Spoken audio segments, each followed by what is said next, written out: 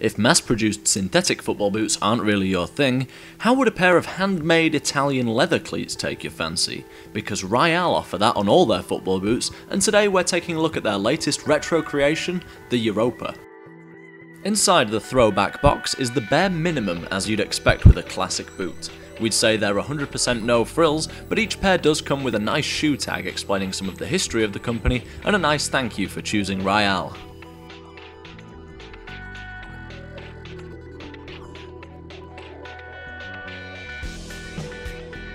So with little to no delay, it's onto the boots themselves, and you will inescapably be drawn to the quality of the leather on the Ryal Europa first. Now, we've had soft leather football boots before, but the choice of K leather on the Europa is second to none in terms of out of the box softness, and when compared to boots like the Tiempo Legend 4, there's a lot more cushioned feel to the Europa, in line with its retro aesthetic, and we're very eager to see how this performs in an age of lightweight, super thin football boots. And speaking of its retro aesthetic, it's very difficult not to raise a smile when looking at the Europas. Ryal have embellished the boot with a number of neat design touches, such as the lovingly embroidered tongue, subtle use of the Italian flag on the outside of the boot, and brass lace eyelets, which is something you scarcely see on modern football boots, and only adds to their artisan charm. The sole plate on the Europa is very much up to the same standard as other classic football boots like the Copa Mundial and the Mizuno Morelia, with 12 moulded black studs punctuating the single piece sole plate.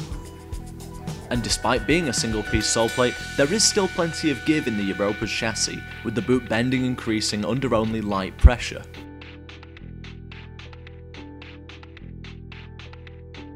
Adding to the stability of the Europa is the low profile heel counter, again finished in black leather to add to the old school appeal of Ryal's latest.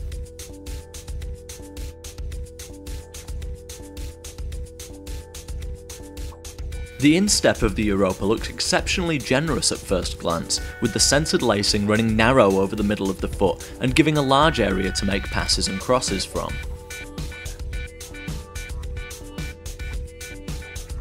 The forefoot bears a similar style of stitching to the Adipure 4 and is designed to stop the boot overstretching without compromising on that retro look that makes the Ryal boots so appealing. And so that brings us to the end of our quick look at the Ryal Europa. If you want to read up more on these football boots, or anything else from the world of cleats or kit, just head over to the newly revamped footyboots.com or keep in touch on our Facebook, Twitter or Google Plus pages.